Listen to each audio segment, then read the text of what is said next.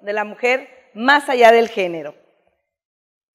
Y les haré una pregunta para que ustedes mismos se la contesten. ¿Qué tienen en común, en común un gran político, un gran empresario, una mujer, un hombre? ¿Qué tienen todos ellos en común? Que todos podemos ser grandes y podemos ser y hacer lo que queramos. Eso es lo magnífico que tenemos todo y cada uno de nosotros. Muy bien. Déjenme, les cuento un poco de historia. Vámonos a los años 60. Para ser más exacta, 1965. Hace un ratito, hace un ratito ya. En ese tiempo se estilaba que a la mujer se le educara con una educación primaria, si acaso, porque el destino era que se casara y tuviera hijitos. Era más o menos el modelo a seguir, que créanme que desde la casa de ahí, de mi casa, se fue rompiendo ese molde, primero porque tengo hermanas más grandes que yo que me mostraron que se podían hacer muchas cosas con ganas y con esfuerzo. Entonces desde ahí yo ya venía con otra mentalidad. Y fui quizá una de las mujeres que empecé a decir, no, no, no, no, no, no me impongan este modelo, no es para mí, no estoy convencida con él, ¿y por qué no revolucionarlo? ¿Por qué no cambiarlo? Y aquí viene un poco de historia. Déjenme que les presuma, yo vengo de una familia muy bien acomodada, pero como no, éramos 11 hermanos y mi mamá y mi papá, imagínense, 13 en una casita modesta, chica, si o no era de una familia bien acomodada. A ver, alguien niéguenmelo. Entonces, definitivamente sí vengo de ahí. Y ahí también se catapulta y se forja mucho mi carácter. Una madre abnegada, sí, pero muy decidida, muy entregada, muy luchona, muy echada para adelante, que dirían en los toreros, en el árbol taurino lo dirían. Ella siembra esta simiente, esta semilla en mí, que nace poco a poco y que se forja claro a través de los años, enseñándome que queriendo se puede. Nunca le escuché decir, ya no puedo más o estoy cansada, aun cuando lo estuviera. Nunca le escuché decir eso. Y miren, una mujer bien sabia, a pesar de haber cursado apenas uno o dos años de primaria, de aquellos entonces. Y bueno, aquí tenemos nuestro escudo de esta hermosísima ciudad, que para mí lo es todo. Me empato totalmente, soy totalmente afín a lo que dice nuestro escudo, gente buena, buena tierra, agua clara, cielo claro. Me empato totalmente con ello porque lo vivo y lo vibro todos los días de mi vida. Mi querido Aguascalientes y el ferrocarril, hablemos un poco del ferrocarril, que ya ahorita nos van a hablar más uno de nuestros compañeros de ello, pero permítanme, rememorar el ferrocarril también es de mis más pequeñas mocedades porque mi padre, cuando me, mi padre fue ferrocarrilero. Cuando me preguntan, ¿de dónde eres? Le digo, soy de Aguascalientes. Le digo, y por si duda cupiera, hija de padre ferrocarrilero. Le digo, para que no les quede duda, para que no les quepa duda, hija de padre ferrocarrilero. Este gran hombre también me dio mucho. Yo lo veía a él todos los días, irse muy temprano, tomar su bicicleta, que también de eso Gustavo ahorita nos va a platicar bastante, tomar su bicicleta y si estaba cansado o no cansado, desvelado o no desvelado, con frío o con calor, simple y sencillamente el Señor, todo gallardo, se iba a trabajar al ferrocarril. Esta, también esta posición de una personita como mi padre, que tampoco fue ningún letrado, pero inclusive llegó a ser maestro del ferrocarril, me dio una gran lección de cómo sí se pueden hacer las cosas si tú tienes la voluntad y así lo quieres. Y hablemos también un poquito de la historia, de mi formación, que esta es una gran catapulta también, el banco. Yo estudié la carrera comercial también, si hablamos de barrios, aquí en el barrio del centro. Pero la verdadera formación, mi verdadera escuela, la es el banco. Los cinco años que me forjé en el banco, también fueron una, no que digo carrera, fue una maestría de enseñarme cómo ir rapidísimo aprendiendo cosas, de dedicarme muchísimas horas a estudiar para seguir escalando puestos. Y aquí viene la primera coyuntura que me empuja a hacer lo que hoy hago y lo que soy. Rapidísimamente, rapidísimamente les digo, yo estaba eh, para un puesto, estaba concursando para un puesto, pero había otros dos ejecutivos, aparte de mí. Y siendo mujer, pues ¿qué creen? No me lo dieron. Y yo le pregunté al gerente, deme la oportunidad, por lo menos dígame por qué no fui apta o por qué no me dieron este, este puesto. Por lo menos quiero saberle hace, es que ellos son hombres. Dije, wow. Bueno, esa me la voy a quedar en mi vida, pero no me la creo.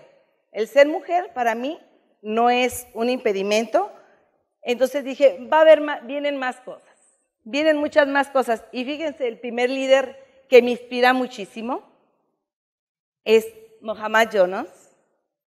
Él creó un banco para los más desprotegidos ahí en su tierra y es un gran inspirador para hacer lo que hoy hacemos en la empresa en la que estoy, en la que muy orgullosamente me, me precio de dirigir. Este señor ve siempre por la gente más necesitada. Un gran líder, inclusive un premio Nobel. ¿Qué les puedo decir de esta mujer? de Angela Merkel. También rompiendo todo paradigma, la primer canciller alemana. Muy digno de reconocerse. Normalmente esos puestos son para varones y finalmente ella lo logra. La superación constante toda la vida. Siempre llámese un hombre, una mujer, pero la superación por delante. La Madre Teresa de Calcuta es una mujer de veras de todos mis respetos, muy inspiradora también para mí. Y ella tiene una gran frase que dice, dar hasta que te duela y después volver a dar. Pero señoras, señores, no solo dar dinero, no es solo eso, dar de tu tiempo, dar de tu saber, dar de lo que la vida te ha permitido aprender, eso también es hermosísimo.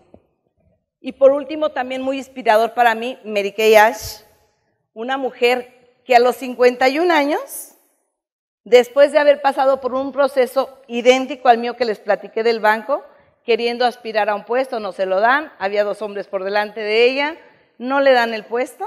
Inclusive se los he regalado a algunas compañeras ese libro porque me encanta esta historia de Mary Kay. A los 51 años decide fundar su negocio. Normalmente las mujeres a los 51 años y más antes más en el tiempo de ella, se les hacía ya abuelas y tejiendo, ciertamente. Pues ella, contra todo paradigma, a los 51 años funda el emporio de cosméticos que el día de hoy conocemos, una gran mujer también.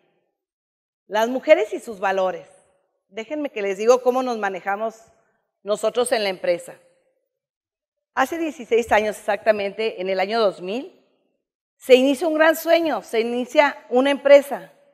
Conjuntamente con mi hija, fundamos una empresa, ahora sí con, con, este, con esta ideología. Que hubiera un lugar donde la mujer se superara, donde tuviera una oportunidad que no por su género fuera menospreciada, al contrario, dándole toda la plataforma para que ella, por sus capacidades, pudieran trascender. Y miren, prueba de ello es que hoy 700 familias son beneficiadas por esta iniciativa. Al día de hoy, el 95% de mujeres, no es casualidad, no soy feminista, porque ahorita les voy a decir cómo los caballeros también incursionan con nosotros, pero finalmente sí con todo el objetivo, como les platiqué, por las experiencias vividas. Y miren, todo el año tenemos mujeres embarazadas, todo el año. Aquí hay compañeras y compañeros míos y no me dejarán mentir. Es todo el año, es constantemente. Y bueno, dicen que, este, que ellas luego no, no rinden igual, que todos, este, que se queda rezagado. Déjenme decirles que no me asusta, al contrario, lo respaldo. ¿Por qué? Porque mi hija, propiamente, cada tres años coopera con un embarazo, así que no podría yo decir nada, ¿verdad? Entonces, volvamos a, a esto del origen. El sueño, ahí está. el sueño. Yo nada más lo tenía así loco, yo quería trascender, pero bueno, tenía un capital y ah, me habían enseñado cómo hacer este negocio que hoy tenemos. ¿Qué fue lo que primero tuve que hacer? Empatarme, tener empatía con las mujeres, con mis mujeres, con las que, las que invitaba a trabajar, las primeritas conmigo. Por aquí hay una compañera que no me dejará mentir, tiene 14 años con nosotros, entonces ella sabe, a ella la convencí, ella fue una convencida. Y si se fijan también a los hombres, fue algo muy difícil para mí, pero logré que salieran de su zona de confort y decirles, vente, también se puede, súbete a este tren, vamos por un buen camino, cree en nosotros. Y yo siempre les digo, sobre todo cuando hacemos desayunos con la gente de la empresa, ¿qué comiste ahorita? ¿Qué comiste? Huevito y jugo de naranja y frutitas. Sí, yo comí lo mismo. Si tú puedes, yo puedo. Entonces no me digan que no se pueden. Yo les digo a por igual a hombres y mujeres. Si tú puedes, yo puedo. Si yo puedo, tú puedes. Ese es mi lema. Y por eso tenemos un gran equipo. Ahí es donde yo me precio de haber hecho algo que antaño era solo un sueño, el éxito. ¿Qué es el éxito? Creo que si les preguntara a cada uno de ustedes me dirían algo diferente. Pero vámonos con el éxito tradicional, con lo, que la gente tiene por éxito. ¿Sí? Si yo les dijera, ya hace rato les dijeron que apuntaran, si gustan volver a apuntar con todo gusto, si yo les dijera que en este momento les voy a dar la receta de lo que mucha gente dice llama éxito, o la receta simplemente para que ustedes puedan hacer un negocio ¿La apuntan? Bueno, pues ahí les va. Aquí están. Normalmente el know-how de las empresas hasta lo esconden y lo ponen en resguardo con cajas de seguridad y dividido en dos personas. Pues aquí les va. Yo se los regalo. Así de espléndida soy. Ahí les va. ¿Tienen listos para apuntar? Trabajo, constancia y disciplina. Las tres cuestiones que importan muchísimo para el éxito. Totalmente. Pero les falta un último ingrediente. ¿Listos para apuntarlo? Actitud. Otro, otro. Actitud. Pero el más importante, actitud. Fíjense que podrían decir, ¿y eso es todo? ¿De verdad con eso es el éxito? Yo les los, los reto a que día con día lo hagan. Y finalmente, fíjense, como decía Mohamed Jonas,